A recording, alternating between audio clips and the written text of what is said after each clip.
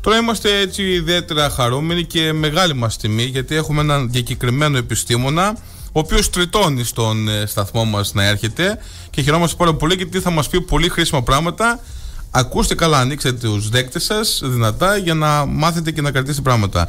Πρόκειται για τον κύριο Ηλία Μάριο Τσόκα, ψυχολόγο, ψυχοθεραπευτή, απόφυτο με διάκριση του Κάντερμπέρι, αν το πω σωστά, ε, Chris Church University, με μετεκπαίδευση στη σύγχρονη ψυχοθεραπεία και συμβουλευτική. Έχει εξειδικευτεί στην κλινική ψυχιατρική, τη διαταραχή αυτιστικού φάρματος και τις ψυχικές διαταραχές παιδιών και εφήβων. Είναι αριστούχος της νομικής σχολής και ολοκληρώνει μεταπτυχιακέ σπουδές στην εγκληματολογία. Έχει αρκετά να τα διαβάσουμε όλα. Θέλετε να τα διαβάσουμε όλα; Μια χαρά Κύριε Τσόκα, καλώς ορίσατε έτσι κι αλλιώς. Καλημέρα. Αρχιλέα, νομίζω ότι είναι ο άνθρωπος που είναι μέσα στο, στο μάτι του κυκλώνα. Ε, να πούμε και την Έτσι. τελευταία, είναι και συνεργάτης του Κέντρου Μελέτης Ψυχοφυσιολογίας και Εκπαίδευσης του ΕΚΠΑ και τον είχαμε. Είναι από την Ιχαλία να πούμε και ήταν στα Τρίκαλα 18 και 19 Σεπτεμβρίου για την ε, εκδήλωση, τη συζήτηση για την ενδοσχολική βία. Κύριε Τσόκα, καλώς ήρθατε. Καλημέρα, καλώς σας βρήκα και ευχαριστώ για την πρόσκληση. Να είστε καλά. Βέβαια το θέμα εννοείται, γι' αυτό και λέμε κυκλώνα, στο μάτι του κυκλώνα λοιπόν, ως ε, επαγγελματίας είναι η βία ανάμεσα μέσα στη ζωή των, των ανήλικων παιδιών μας. Ε, και νομίζω ότι είναι ένα θέμα που το συζητάμε, το συζητάμε, αλλά έτσι και ξεκινάω λίγο κάπως απότομα. Αλλά μέχρι στιγμής δεν έχουμε βρει το δρόμο μας. Έτσι δεν είναι κύριε Τσόκα. Δηλαδή το συζητάμε πολύ έντονα όλα αυτά τα χρόνια. Είναι πολύ σημαντικό βέβαια που ανοίγει το κόσμος, που το βλέπει το, το ζήτημα. Ε, γιατί όμως δεν υπάρχει στην ουσία ένα αποτέλεσμα. Λοιπόν, ε, εγώ έχω να πω ότι τα θέματα βουν και βιάζονται, όπως λέτε κι εσείς, και επιζητούν άμεσες λύσεις.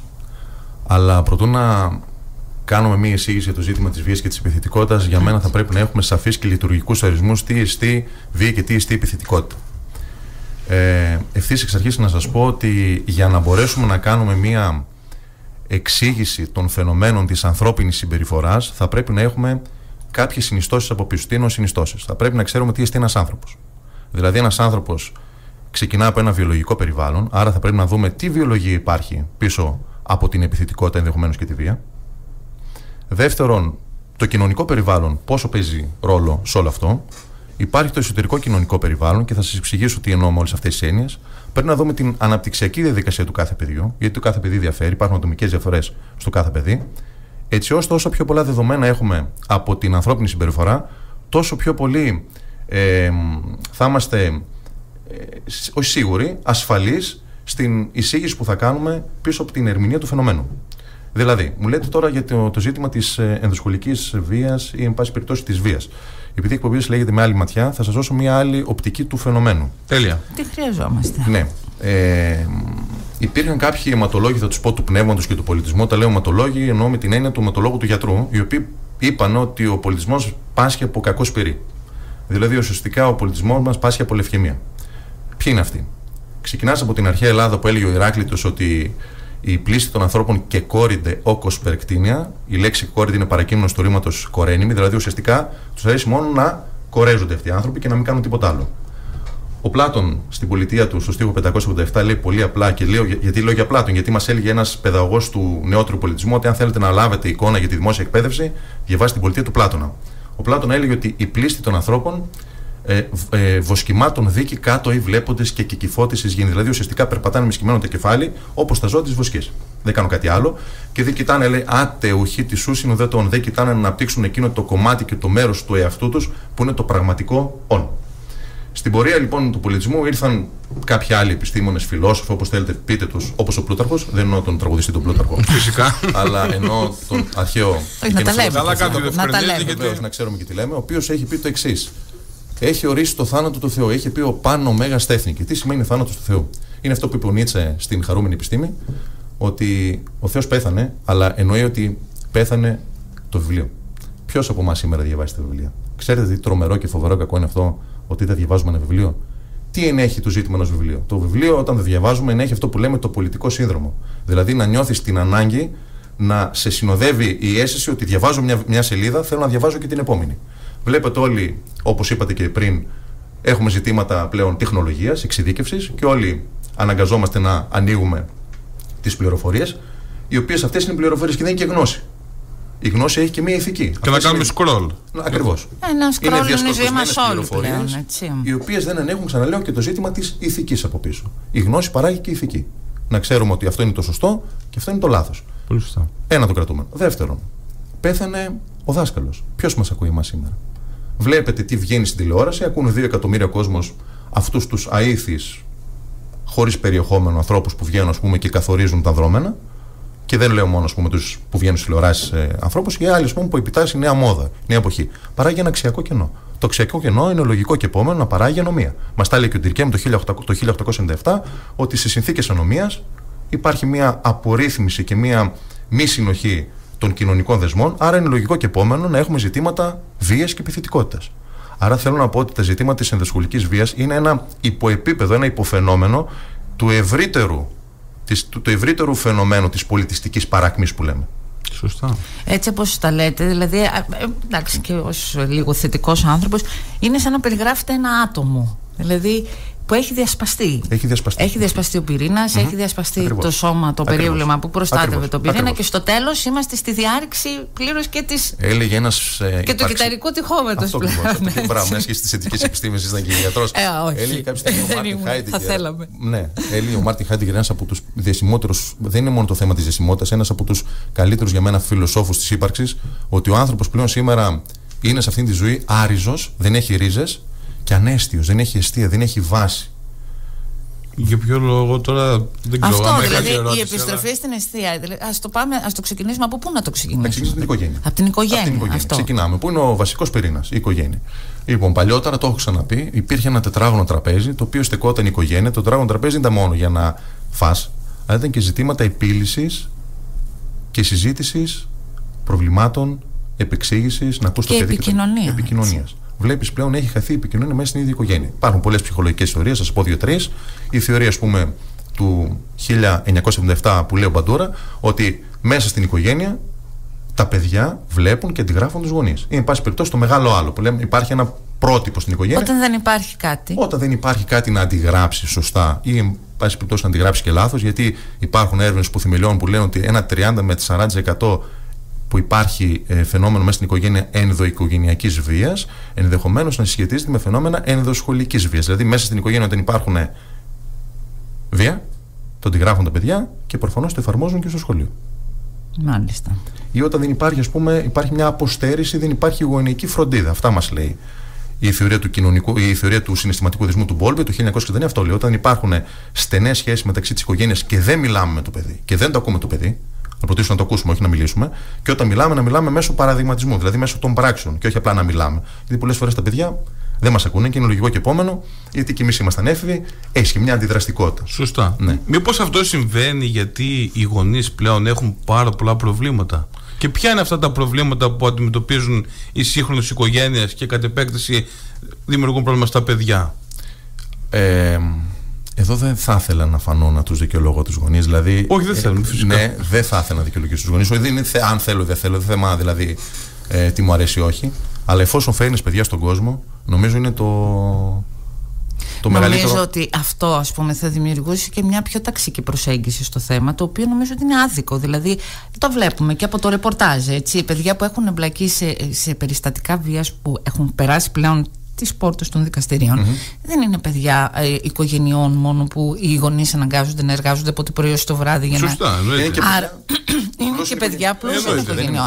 Βέβαια, βέβαια, να θέσω εδώ πέρα και στοιχείο σαν παράγοντε επεξήγησης αυτών των φαινομένων. Όπως καλά το τοποθετεί, δεν είναι μόνο οικογένεια. Υπάρχει ένα ζήτημα κοινωνισμού, θα λέγαμε. Τα έχει επεξηγήσει πολύ καλά ο Μάρξ Ουέγγελ. Όταν δεν υπάρχουν σε μια κοινωνία κοινωνικές ανισότητες και αδικίες, είναι λογικό και επόμενο κάποιος να αντιδρά.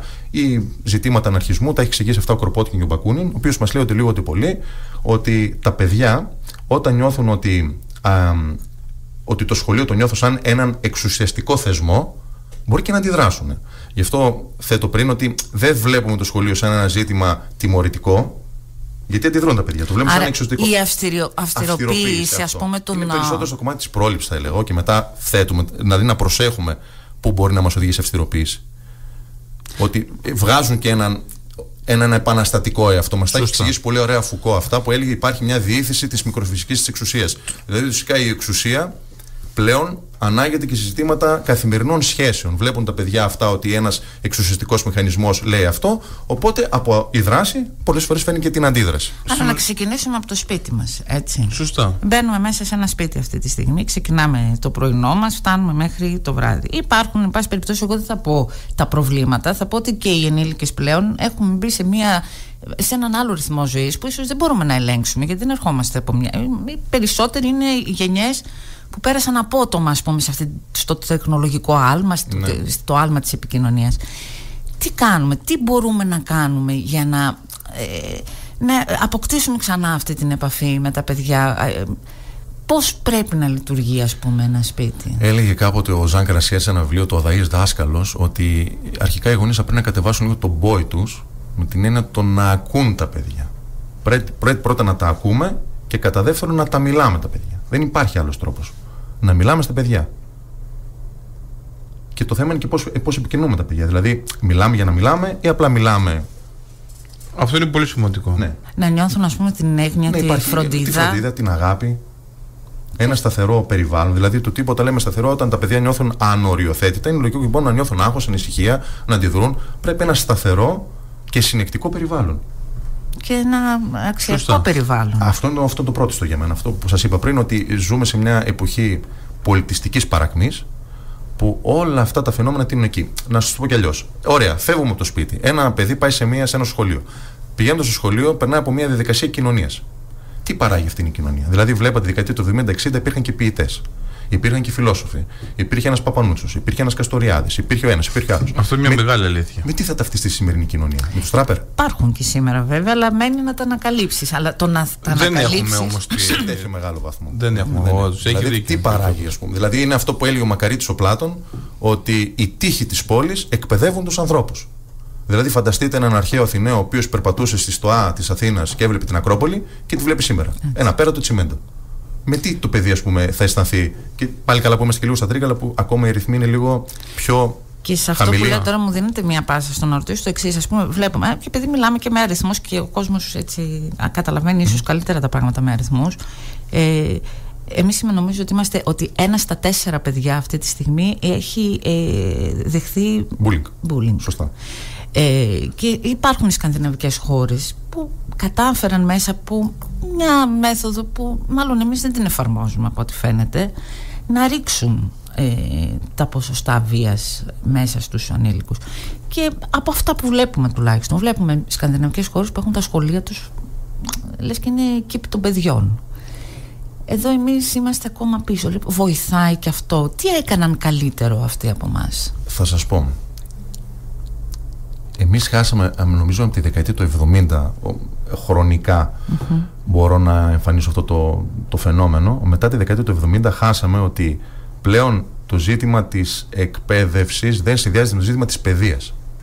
Εμείς χάσαμε το ζήτημα της παιδείας. Η παιδεία, η φιλοσοφική παιδεία, η κλασική παιδεία βασικά, δίδασκε τον άνθρωπο, τον ανθρωπισμό. Εμείς δεν διδάσκουμε ούτε ναζισμό, ούτε σταλινισμό, ούτε κάτι άλλο. Δίδασκε το να μαθαίνουμε για τον άνθρωπο. Είναι αυτό που έλεγε πολύ ωραίο Ενέκα, τον Τίσχυμο Β. Και μαθαίνουμε και για τη ζωή. Όχι μόνο μαθαίνουμε για το σχολείο. Το σχολείο είναι μια διαδικασία, αλλά ωραία μαθαίνουμε για τα σκύβαλα των βιβλίων, αλλά αυτό το πράγμα πρέπει να το εξωτερικεύσουμε, να μάθουμε και πράγματα για τη ζωή. Και πρέπει να μάθουμε και για τον άνθρωπο. Δηλαδή, εμάς η, η, η, η έγνοια μας είναι ο άνθρωπος. Πλέον έχει χαθεί αυτό. Μαθαίνουμε πάρα πολλές πληροφορίες, έχουμε το ένα, έχουμε το άλλο, έχουμε ανοιχτά τα μάτια μας, ανοιχτά τα αυτιά μας, αλλά ουσιαστικά δεν μαθαίνουμε για τον άνθρωπο. Και το σχολείο δηλαδή βγάζει ας πούμε επαγγελματίες. Και επαγγελματίες, αλλά είναι αυτό που έλεγε ο Καστοριάδης: υπάρχει μια άνοδος της ασημαντότητας και υπάρχει ένας τεχνοβλάκας πλέον. Μα ξέρει τα πάντα, μπορεί να επιλύει εξισώσεις. Είναι αυτό που έλεγε βασικά στην πολιτεία, το- στο, στην Ακαδημία Πλάτων, έγραφα απ' έξω: Ουδή αγιομέτρητο συσίτο. Όποιος ξέρει μαθηματικά να μην μπαίνει μέσα. Εγώ θα το αντιστρέψω σήμερα ημέρα και θα του πω: Ουδή αφιλοσόφητος συσίτο. Ξέρουμε τα πάντα, αλλά δεν ξέρουμε τι είναι ένας άνθρωπος. Στο κάτω. Έχουμε πρόσβαση πολύ εύκολη στα Σωστά. πάντα Ναι, όσον ναι. αφορά την πληροφορία χωρίς να αφομοιώνεται Χωρίς αυτό να και να αφομοιώνουμε, ναι. το κάνουμε Αυτό που είπα σώμα πριν, ότι η μας. γνώση πρέπει να έχει και μια ηθική. Να ξέρεις ότι αυτό είναι σωστό, αυτό είναι λάθος. Βλέπεις, ξέρει τα πάντα και πλέον μπαίνεις σε ένα σχολείο. Ωραία. Σου λέει άλλος να μιλήσουμε, ξέρω εγώ, για την ε, ε, φιλολογικά μαθήματα. Σου λέει, «Ε, ωραία, πού θα με βοηθήσει εμένα η ποιήση η φιλολογία; Είναι αυτό που έλεγε ο Καβάφη. Θα σε βοηθήσει η ποιήση ότι σε κάνει πιο καλέσθητο. Σε ημερεύει, σε εξημερώνει. Πλέον έχουμε απανθρωπιστεί. Εμείς ζητάμε ένα ζήτημα εξανθρωπισμού. Αυτό βοηθάει η παιδεία στο τέλος της ημέρα. είναι απολαυστικός ο κύριος Τσόκας. Να πούμε ξανά σε όσους μπορεί να έχουν ανοίξει τώρα τους δέκτες τους ότι έχουμε τον κύριο Ηλία Μάριο Τσόκα, ψυχολόγο, ψυχοθεραπευτή. Ο οποίος είναι έτσι καθελωτικός και. Ναι, βέβαια. Και είναι και το θέμα τέτοιο και πραγματικά αυτό, όλα αυτά που λέμε τώρα δείχνουν ότι όλο αυτό έπρεπε να είναι μια δουλειά διαχρονική. Διαχρονική. Άρα δεν μπορούμε να είμαστε σήμερα Σάββατο, τη το Δευτέρα. Σχολείο τι πρέπει να αλλάξει το σχολείο; Έτσι. Τι Κάτι τι να μπορούμε να αλλάξουμε λίγο για να βελτιώσουμε την κατάσταση. Και επειδή δεν έχουμε χρόνο έτσι το, να πολύ δώσουμε σωστά και το είπατε, Πολύ σωστά το είπατε. Αυτό το ζήτημα δεν είναι μιας μέρας, ούτε ενός δεκαλέπτου, ούτε μιας ημερίδας. Ε, είναι ένα ζήτημα κοινωνικο-ιστορικού ρεύματος. Ξεκινάει από κάπου, έχουμε αυτό και κά, κάπου καποδεύει. Πρέπει να αλλάξουν πάρα πολλά πράγματα. Το σχολείο, ας πούμε, για παράδειγμα, σας είπα, στο αναλυτικό πρόγραμμα πρέπει να μπει ένα ζήτημα, στοιχείο αυτό του, που έλεγε ο Νέκα πριν, μαθαίνουμε και για τη ζωή. Δηλαδή, τι εννοώ μαθαίνουμε για τη ζωή; Βλέπεις, ρωτάς έναν άνθρωπο, ένα παιδί, ας πούμε, πού είναι ο Παρθενόνα και σου λέει στο Λικαβιτό. Ναι, συμβαίνουν και αυτά. Ε, είναι μια στήρα γνώση. Φυσικά. Είναι μια στήρα γνώση. Είναι μόνο αυτό; Είναι μόνο αυτό; Άρα πρέπει να ξεκινήσουμε με έναν τρόπο να εμπνέουν με τα παιδιά Πρέπει να γίνει αλλαγές σε στοιχεία και σημεία υποβάθρου. Τρομερές αλλαγές σε όλα τα επίπεδα. Είναι δύσκολο το πράγμα. Πραγματικά όσο λέω, κάνω. Πώς θα κάνουμε τους νέους να σταματήσουν το Instagram και να ακολουθούν αυτούς τους ανθρώπους που είπαμε και πριν, οι οποίοι είναι διάσημοι, αλλά δεν προσφέρουν κάτι Απάντηση. Ε, θα πρέπει, εδώ θα γίνω λίγο, όχι τόσο στε, στα αυτιά, δυσκερής στα αυτιά πολλών ανθρώπων. Στην εκπαιδευτική διαδικασία όλοι μάθαμε όταν είχαμε έναν άνθρωπο που ήταν ερωτευμένος με τη δουλειά του. Βλέπαμε έναν δάσκαλο που ήταν ερωτευμένος με αυτό που έκανε. Δηλαδή η εκπαιδευτική διαδικασία ξεκινάει από την ηλικία Α και φτάνει μέχρι την ηλικία Ω. Βλέπουμε ότι ήταν ένας άνθρωπος ερωτευμένος με αυτό που έκανε και ερωτευόμασταν κι εμείς μέσα από την οπτική και τη ματιά του δασκάλου και βλέπουμε ότι ήταν διαφορετικός από ό,τι ήταν όλοι, όλοι οι άλλοι. Σωστά. Αυτό βέβαια είναι και ένα ζήτημα. Δηλαδή, Υπάρχουν... όταν μπαίνει πλέον ο εκπαιδευτικός, που είναι αρκετοί πλέον από, έρχονται από μια άλλη, από μια τέτοια γενιά ας πούμε, εκπαιδευτικών, και οι νέοι βέβαια εκπαιδευτικοί που βλέπω ότι υπάρχει όρεξη, υπάρχει διάθεση. Εγώ το ζω στο σχολείο του παιδιού μου πάρα πολύ αυτό, η κινητοποίηση δηλαδή, η συμμετοχικότητα να ενθαρρύνεται. Αλλά έρχεται ένα παιδί που από το σπίτι του επίσης έχει αυτό το, το κενο Προσπαθεί να το διαχειριστεί μέσα και από αντίξωε συνθήκες. Γιατί και το εκπαιδευτικό σύστημα δεν αφήνει πολλά περιθώρια και στον εκπαιδευτικό να, ε, να αναπτύξει ας πούμε, το δικό του έργο. Δηλαδή συγκεκριμένη ύλη, συγκεκριμένο τρόπο. Εκεί τι κάνουμε, ας πούμε. Ο γονιός. Αυτό το Instagram δεν είναι θέμα του εκπαιδευτικού μόνο, προφανώς. Εκεί πάει συνεπικουρικά, ο, να συνεπικουρήσει. Ο γονιός τι πρέπει να κάνει; Να σας θυμίζω ότι είμαι και ψυχοθεραπευτής Οπότε εδώ μπορούσε κάλλιστα να σας δώσω μια απάντηση μέσω ψυχοθεραπείας. Είναι αυτό που έλεγε ο Φουκώ, ότι ουσιαστικά η ψυχοθεραπεία είναι η μαρμίτα του νοήματος. Θα μπορούσε ένα παιδί κάλλιστα να μην βρίσκει ένα νόημα και εμείς να το επανανοηματοδοτήσουμε σαν ψυχοθεραπευτές. Αυτό που μπορούμε να κάνουμε είναι ότι ένα παιδί, οκ, υπάρχει μια πορεία, αλλά αυτό το πράγμα αλλάζει. Δηλαδή, μέσω της ψυχοθεραπείας μπορούμε να αλλάξουμε τις γνωσίες του παιδιού και να θεωρεί κάποια πράγματα ως τετριμένα ή κάποια πράγματα εκ των ούκων άνευ ότι δεν έχουν νόημα και σημασία, αλλά εμείς, σαν ψυχοθεραπευτές, μπορούμε να αλλάξουμε αυτό το γνωστικό κατασκεύασμα του ανθρώπου. Γίνεται αυτό μέσω ψυχοθεραπείας πλέον. Το ξέρουμε. Και στους γονείς, φαντάζομαι ότι το χρειάζονται πρώτοι. Αυτό. Ευτυχώς υπάρχουν ψυχολόγοι στο σχολείο και να κάνουν μια ψυχοεκπαίδευση γονέων. Δηλαδή, εγώ αυτό που θα περίμενα από εσάς τώρα είναι να μου πείτε ότι καταρχάς και οι γονείς πρέπει να κλείσουν το Instagram. Και... Δεν είπαμε πριν. Ε, Στοιχεία παραδειγματισμού. Δηλαδή Σωστά. να κλείσουν το διακόπτη. Ξέρετε όμως, μου κάνει εντύπωση οι, οι γονείς μας mm-hmm. παλιότερα. Δεν μιλούσαν και αυτοί με τις οικογένειές τους. Γιατί και οι γονείς τους, ας πούμε, τότε δεν ήταν και τόσο μορφωμένοι όπως είναι οι, οι σημερινοί γονείς. Είχαν άλλα στοιχεία. Και αυτοί εργάζονταν πολύ. Και όμως, γιατί όμως οι γονείς μας, ας πούμε, είχαν μια άλλη νοοτροπία; Ήταν άλλες εποχές. Υπάρχει το κοινωνικό ζήτημα, όπως λέμε εδώ. Υπάρχει μια κοινωνική ανισορροπία, έχουν αλλάξει και εποχές, δυστυχώς. Είναι και τα προβλήματα. Δηλαδή, επιταχυνόμενα, επιταχυνόμενα έχουν επιπολαστεί. Εντάξει, εγώ δεν διαφοροποιώ ότι πρέπει να, πούμε, να ζητώ σε κάθε επίπεδο πρέπει να, να υπάρχουν και ζητήματα ουσιοεξαρτήσεων ή ζητήματα αν υπάρχει κάποια ψυχοπαθολογία. Που δεν είναι μεγάλη σε ποσοστό, αλλά τα έχουμε και αυτά υπόψη. Ότι μπορεί ένα παιδί να εκδηλώνει, να εκδηλώνει βία γιατί να υπάρχει από πίσω μια ψυχοπαθολογία. Υπάρχει αισιόδοξο ναι. μήνυμα ή μόνο απεσιοδοξία. Και γενικά ένα μήνυμα να στείλουμε στους ακροατές. Δηλαδή, αν ας πούμε λέμε ότι οι νέες είναι, παραδειγματίζονται πολύ εύκολα. Όταν αυτό η βία, η βία πλέον είναι εκτεθειμένη των, των συνομιλίκων τους, έτσι. Ε, Πώς μπορεί ένα παιδί να ξεφύγει από αυτό, ε, είτε, να, είτε ως θήτης είτε και ως θύμα; Υπάρχει στο σχολείο, γίνεται και μια ενέργεια που λέγεται μια διαπραγμάτευση. Δηλαδή, μαθαίνουμε στο παιδί πώς μπορεί να διαπραγματευτεί μια ανοιχτή συζήτηση στο σχολείο. Δηλαδή, γίνονται καλές ε, κάποιες καλές δράσεις προς την επίλυση αυτών των ζητημάτων αλλά δεν ξέρω να φτάνουν, δεν ξέρω να φτάνουν. είναι δύσκολα, εγώ το έχω ξαναπεί ότι πάρτε μαζί σας πολύ νερό, το μέλλον έχει ξηρασία. Είναι δύσκολα, δηλαδή ξαναλέω πρέπει να γίνουν αλλαγές σε όλα τα επίπεδα. Δεν είναι ότι αλλάζει κάτι, μπορεί να αλλάξουμε κάτι εδώ και το πρόβλημα εντείνεται κάπου αλλού. Άρα δουλεύουμε τώρα για... για να καρποθούμε κάτι στο Ιδάλωσα για το πορεύουμε τελέσφορα. Πέντε γενιές από σήμερα. Ναι. Είναι αυτό. Μία συμβουλή στους γονείς που ακούνε έτσι για κλείσιμο ας πούμε Αυτό που είπατε πριν Ωραία, ας δώσουν οι γονείς το παράδειγμα Να ξεκινήσουμε από τα ναι, βασικά ναι. Ξεκινάμε από εμάς. Δηλαδή δεν μπορώ να αυτό που έλεγε και ο ε, θα αλλάξω εμένα, δεν αλλάζω τον κόσμο. να... Ο Μάρξ προσπάθησε να αλλάξει τον κόσμο, σίγουρα δεν κατάφερε. λοιπόν, αλλάζουμε πρώτα εμάς. Αλλάζουμε πρώτα εμάς. Να δούμε, ναι, γιατί θεωρώ ότι και ένα Γίνε εσύ η αλλαγή που θες να δεις στους άλλους και ο γονιός ότι ε, εφόσον ένα παιδί δεν είναι χαρούμενο, εφόσον ένα παιδί είναι σε αυτή την κατάσταση, και ο γονιός δεν νομίζω ότι θα είναι σε μια καλύτερη. Θα είναι και αυτός σε μια λανθάνουσα κατάσταση. Και μιας και ανέφερε ο φίλος Μαχηλέας πριν για το τι έκανα παλιότερα, που δεν μιλούσαν τόσο πολύ οι δικοί μας ε, γονείς. Γιατί... Έχει πει κάποτε το 1962 ένας μαθητής του Φρόιντ, ο Έρικ Έριξον, που ανέπτυξε κάποια ψυχοκοινωνικά στάδια στο, στον άνθρωπο, ότι ρώτησαν κάποια στιγμή το Φρόιντ όταν ήταν μεγάλος ηλικία, τι πρέπει να κάνει ένας άνθρωπος για να είναι ευτυχισμένος σε μεγάλη ηλικία Φρόιντ. Αυτός με, με το κοφτό βλέμμα και το, την οξύτητα του πνεύματος της εποχής και της ηλικίας λέει: Για να είναι ευτυχισμένος άνθρωπος πρέπει να αγαπά και να εργάζεται. Οι γονείς μας εργαζόταν και έκαναν κάποια πράγματα παρότι δεν μιλούσαν. Ναι. Τώρα. Τώρα. Φτάσαμε στην αμοποίηση των βουνών. Θα μπορούσαμε να τον έχουμε τον κύριο Τσόκα μια ώρα να μιλάει και να τον ακούμε απλά και να μην ρωτάμε τίποτα. Ήταν απολαυστικός. Μακάρι στην κοινότητα μέσα να υπήρχαν αρκετοί και σαν τον κύριο Τσόκα και σε κάθε σχολείο να υπάρχει ο χρόνος ε, και να προβλέπετε και για τους γονείς και για τα παιδιά για να μπορούμε να δούμε λίγο πού βρισκόμαστε πρώτα και μετά να βλέπουμε τις λύσεις. Έτσι ακριβώς. Σας ευχόμαστε ό,τι καλύτερο. Είστε καλά. Σας ευχαριστούμε πάρα πολύ για τα ωραία Σίγουρα θα τα ξαναπούμε. Ναι. Σίγουρα εννοείται θα τα ξανακανονίσουμε και βλέπετε γι' αυτό ας πούμε είναι και η εκπομπή με άλλη ματιά.